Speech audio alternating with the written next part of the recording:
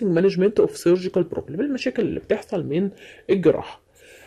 أول مشكلة عندي اللي هو المريض اللي بيشتكي من appendicitis appendicitis اللي هي التهاب الزايده عبارة عن it is an inflammation of the appendix الزايده طب اللي عنده التهاب في الزايده ده دخله العمليات هعمل له استئصال للزايده اسمها appendectomy اللي هي سيرجيكال ريموفال ذا ابندكس هبتدي أستأصل الزايده لو ما استأصلتهاش وحصل لها complication بيحصل لها حاجة ب- بعد ال complication بتعمل حاجة اسمها peritonitis التهاب في جدار البطن اللي هي surgical inflammation of the abdominal cavity lining التهاب في جدار البطن.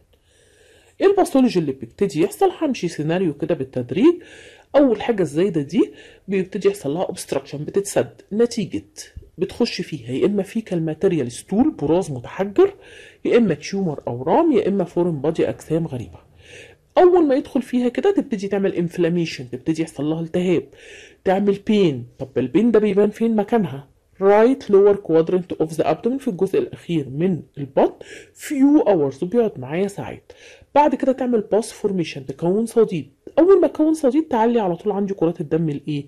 البيضاء إيه ال causes بتاعت الزيادة زي ما إحنا قلنا يا إما blockage بتتسد ب stool يا إما بأورام cancer وبعد كده بتعمل إيه؟ infection بيشتكي إيه العيان؟ clinical manifestation اللي بتبان عليه. pain و tenderness إيه tenderness دي؟ pain on touch ألم عند الايه اللمس المكان بتاعها. ال symptoms اللي هيشتكي منها ال patient هيشتكي pain في مكانها اللي هو lower right abdomen loss of appetite عنده فقدان للشهية nausea غثيان وعنده vomiting ترجيع abdominal swelling تورم في البطن fever درجة الحرارة بتزيد inability to pass gas ما بيقدرش يخرج الغازات أكمل ال symptoms إن هو بيشتكي من painful وخصوصا آه، أثناء ال voiding أو أثناء ال urination أثناء النزول البول vomiting with abdominal pain مع كمان ألم في البطن severe cramp مغص شديد وممكن يجيله constipation أو diarrhea إيه ال complication اللي ممكن تحصل من الزايده قبل ما أتكلم على ال complication أتكلم على حاجتين أساسيتين لأي مريض يجي لي بيشتكي من الزايده ممنوع إن أنا أعملهم له. أول حاجة ممنوع إن أنا أعمل له اللي هي الحقنة الشرجيه تاني حاجة ممنوع إن أنا أحط له suppository أي البوس ولا أدي أي مسكنات خالص بالنسبة للي عنده الزايده عشان لو عطيت كده هيحصل له كمان complication إيه ال complication أول حاجة ممكن يحصل perforation يحصل لها rupture تفرقع طب لو فرقعت هتعمل إيه؟ هتعمل أول حاجة peritonitis اللي هو التهاب في جدار البطن. abscess formation ممكن تبتدي تعمل خراج. آه، ممكن بعد كده طب لو حصل لها perforation العيان هيشتكي من إيه؟ fever درجة الحرارة عالية. toxic appearance لأ ده ممكن يحصل سموم وأنا هعرفها إن أنا هعمل تحليل كرات دم بيضاء هلاقيها زادت عندي عن 10000 وهي ال normal من 6000 ل 10 إيه 1000 هلاقيها زادت أكتر من كده بكتير. و continuated مستمر abdominal pain or tenderness اللي هو pain on touch ال assessment زي ما أنا قلت همشي في سكتين. يا أشعة دايما ال diagnostic يا أشعة يا إيه يا معمل. معمل هعمل CBC وأشوف ال white blood cells أو أعمل diagnostic من خلال ال X-ray أو هعمل آه، في نفس الوقت ممكن أعمل pregnancy test أو أعمل C reactive إيه بروتين ال nursing intervention اللي أنا هعمله بدي IV fluid بدي ال antibiotic أعمل الأول تحليل. دم واشوف نوع ال antibiotic اللي الجسم مطلعه اللي هو ال position بتاع ال patient وأبتدي في نفس الوقت أشوف لو في آه، احفظ آه، أحافظ على ال ventilation intestinal obstruction ده المرض التاني. يبقى أنا كنت بتكلم على ال appendicitis دلوقتي هتكلم على intestinal obstruction اللي هو انسداد في الأمعاء. عبارة عن blockage حاجة بتسد. that prevent بتمنع خروج body nutrient and waste product خروج ال waste product من ال gastrointestinal tract اللي هو الجهاز الهضمي. إيه ال causes إيه الأسباب بيحصل انسداد في الأمعاء. إيه؟ السبب paralytic ileus شلل في الأمعاء. medication زي ال narcotic اللي هي المنومات.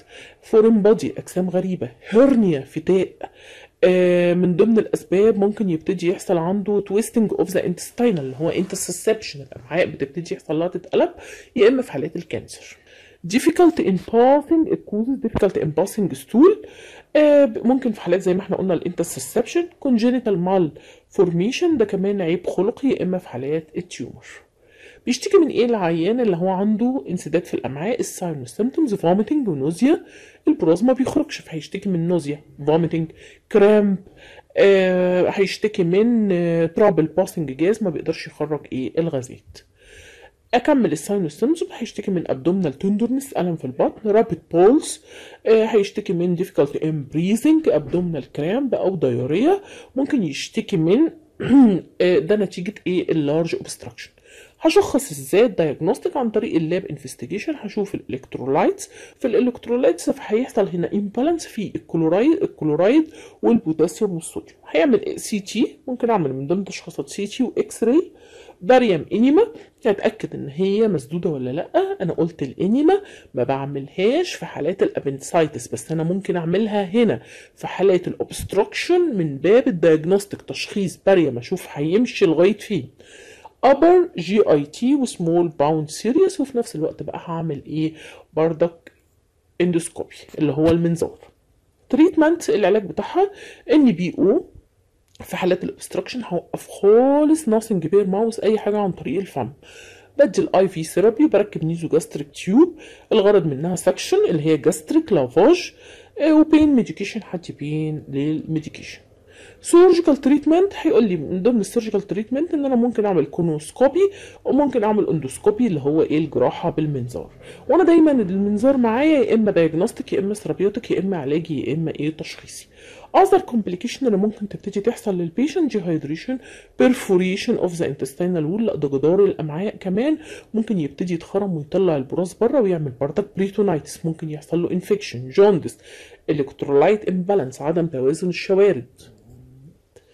ال nursing intervention اللي أنا هعمله بقى بالنسبة لل patient assess level of pain بشوف مستوى الألم وبعمل pain scale ال pain scale اللي هو من zero لغا... من zero لغاية 10 واشوف ال pain انهي نوع من ال pain أو انهي types من ال pain في mild وفي moderate وفي إيه؟ severe وبعد كده assess لل pain every 30 minutes كل نص ساعة before and after pain medication قبل ما ادي العلاج administrate pain medication هدي العلاج عشان ما يخشش فيه complication اللي هي neurogenic shock في نفس الوقت maintain bed rest وبدي pharmacological treatment assess لل vital signs وخصوصا ال temperature لأن هنا ممكن يبتدي يحصل infection نتيجة وجود ال stool جوه إيه؟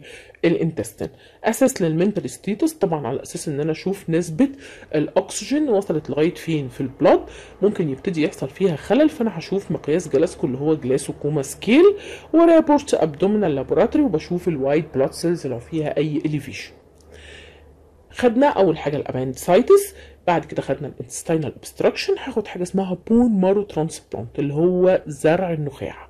يعني إيه زرع النخاع؟ أنا قلت من إن أنا عندي نخاع العظم عندي موجود في كل العظم الطويل والعظم العريض. مين العظم الطويل؟ أشهرهم عندنا عظمه إيه؟ الفخذ. طب بيعمل إيه عظمة الفخذ دي؟ أو إيه نخاع العظم ده؟ بيعمل إيه؟ النخاع العظم هو الا الجدر اللي بيطلع لي كل مكونات الدم كرة دم بيضاء كرة دم حمراء صفايح بلازما. طب مين ال patient اللي أنا بضطر إن أنا أعمل له زرع النخاع؟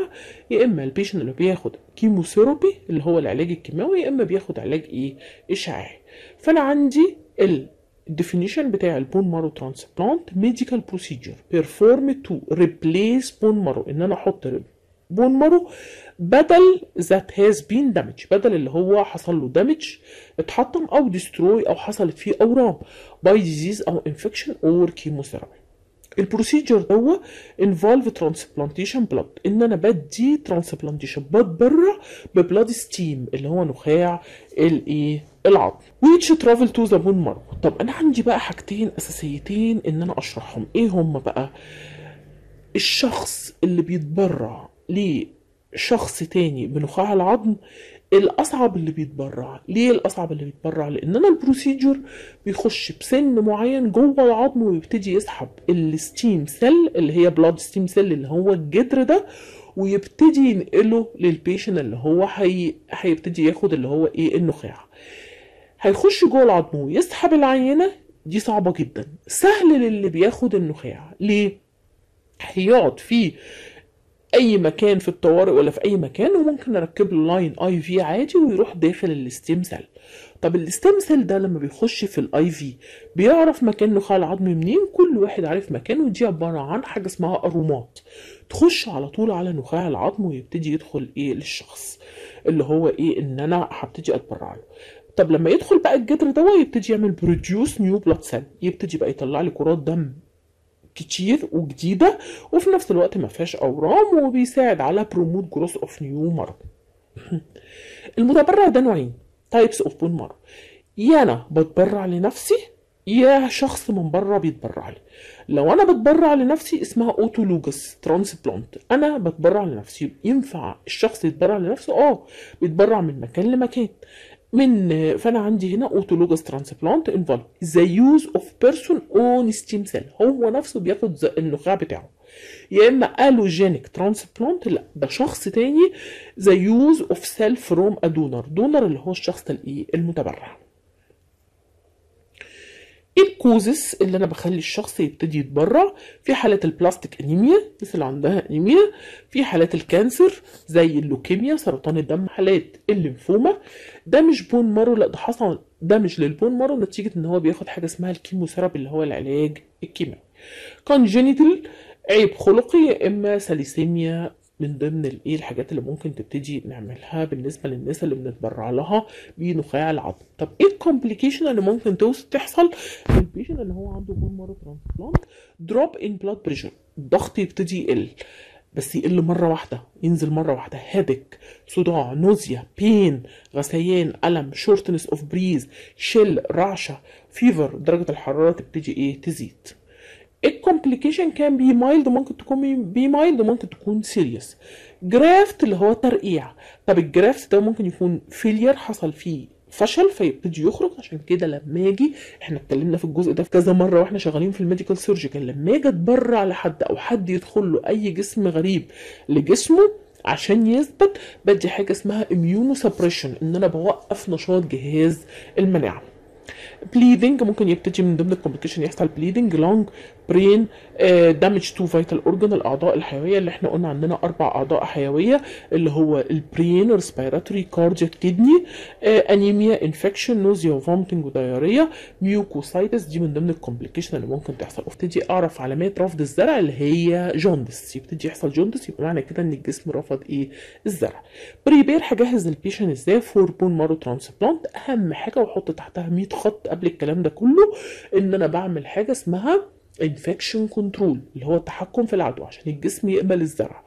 فأنا بعمل several test بعمل شوية اختبارات عشان أشوف التوافق بتاع الأنسجة. آه بعدي ال patient اللي هو يا إما chemotherapy يا إما radiotherapy عشان ابتدي أعمل killing أموت مكان النخاع العظم القديم. وأسيب مساحة عشان يدخل الايه ال new stem cell اللي هو الجديد.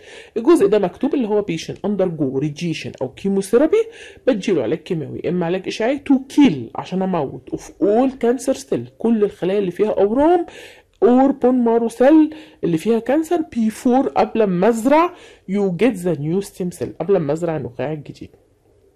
bone marrow transplant take up to a week ممكن ياخد أسابيع لأن إيه دوا من ضمن الحاجة إن أنا ليا خطوات كده إن أنا باخد النخاع العظم وببتدي أعمله refreezing آه ليه خطوات كده وإن أنا أجمده لغاية ما أبتدي أوصله لغاية ال patient decrease patient anxiety هبتدي أقلل ال anxiety بالنسبة لل patient وفي نفس الوقت اعمل له re assure expect after bone marrow transplant إيه المتوقع ان أنا بعد لما اعمل زرع النخاع إن أنا المفروض ال patient دوت monitor إن أنا أبتدي أتابعه وفي نفس الوقت أعمل له recovery وده ال recovery بيكون about 3 months لمدة 3 شهور عشان يقبل إيه؟ الزرع. دايما عندنا مهم جدا لما أجي أعمل حالات الزرع 90 يوم بالظبط ممكن يبتدي يحصل حاجة اسمها rejection الجسم يرفض إيه؟ الزرع ودي بخاف من ال 90 يوم وأول علامة اللي إحنا قلنا عليها ال jaundice يبتدي إيه؟ الجسم كله يصفر. مش بتكلم على ال bone marrow بس أنا بتكلم على أي transplant اللي هو أي إيه زرع. recovery depend on طب ال- العلاج أو ال- ال recovery بيعتمد على إيه؟ condition being treated عن طريق إن أنا بدي ال chemotherapy أو ال radiotherapy donor match إن أنا بشوف المتبرع اللي هي توافق الأنسجة.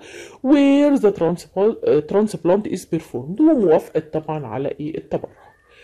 ال pre وال post operative care شق تاني إن أنا بكتب يبقى أنا كده اتكلمت على الأمراض اتكلمت على حاجات اللي أنا بعمل فيها عمليات. عندي ال appendicitis ولما باجي أشيل العملية آه، العملية نفسها اسمها appendectomy اتكلمت على ال intestinal obstruction ولما آجي لو حصلت intestinal obstruction حصل لها أي مشكلة ممكن ببتدي أعمل حاجة اسمها colostomy اتكلمت على حاجة اسمها ال bone marrow transplant اللي هو زرع النخاع. هنا رقم أربعة وآخر حاجة أتكلم على ال pre وال post operative care لأي عملية. definition بتاع ال pre operative care nursing care اللي هو before و during و after nursing إيه after operation. إيه ال reason إن أنا بعمل عملية يا إما الغرض من العمليات cure هعالج أمراض النس أو ديزيز ريموف هبتدي أشيل زي disease tissue or organ هشيل خلايا ميتة أو آه، أمراض. زي ما إحنا قلت كده إن أنا بشيل الزايدة. عندي آه، آه، من ضمن الحاجات diagnostic تشخيص. obtain tissue لأ ده أنا بحصل على biopsy عينات عشان أحللها. prevent disease or injury بمنع الجروح. أو أمنع أو حوادث أو هبتدي أعالجها بالجراحة. improve appearance أحسن شكلي يبقى اسمها plastic surgery اللي هي عملية التجميل. repair هبتدي اعالج شيء أو ابتدي أصلح شيء relieve symptoms or pain هبتدي أشيل الألم وخصوصا في حالات الأورام.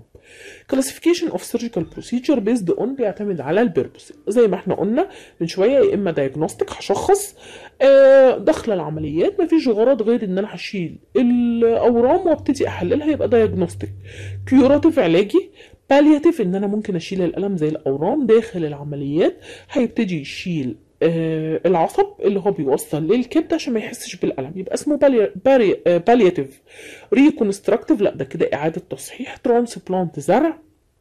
constructive إن هو ممكن يبتدي يعالج exploratory يكتشف بقى حاجة جديدة زي عمليات الاستكشاف. based on دايما العمليات urgency اللي هي عمليات الطوارئ بقسمها يا إما elective يا إما urgency يا إما emergency طب بقسمهم بناء على إيه؟ nursing priority حسب الأولويات. reduce anxiety and emotional trauma provide physical safety prevent ال complication alleviate pain هقلل الالم يا إما facilitate recovery هعالج بسرعة. provide information هدي معلومات وخصوصا عن ال procedure وال prognosis وال treatment pre operative phases دي ال steps قبل العمليات. pre operative phases begin بتبدأ هو decision من ساعة ما الدكتور الجراح بياخد قرار العملية. Decision for surgical intervention is made and end وبتنتهي when the patient is transferred بيتنقل from the operating room لغاية ما يوصل للإيه أوضة العمليات. Responsibility include during the pre-operative phase طب ال pre-operative phase بعمل له إيه pre-admission testing بعمل كل الاختبارات والتحاليل initiate initial pre-operative assessment بعمل كل التقييم قبل العمليات initiate teaching هعلم ال patient زي ما إحنا كده بنعلمه ال breathing coughing exercise completion of pre-operative testing بعمل كل الاختبارات قبل العملية understanding of surgeon specific pre-operative order. التعليمات اللي الدكتور بيقولها لي قبل العمليات زي إن أنا ممكن أعمل ال patient bowel preparation نعمل له حقنة شرجية اللي هي ال enema pre-operative shower ممكن ياخد حمام ممكن shaving يشيل الشعر كل دول قبل الايه العملية. assess patient needs بشوف احتياجاته وفي نفس الوقت هشوف احتياجاته بعد العملية. ممكن لو زي عملية amputation بتر أشوف الطرف الصناعي اللي هو ممكن يبتدي يستعمله واعمل له إيه compensate intraoperative intraoperative اللي هي داخل أوضة العمليات begin بتبدأ.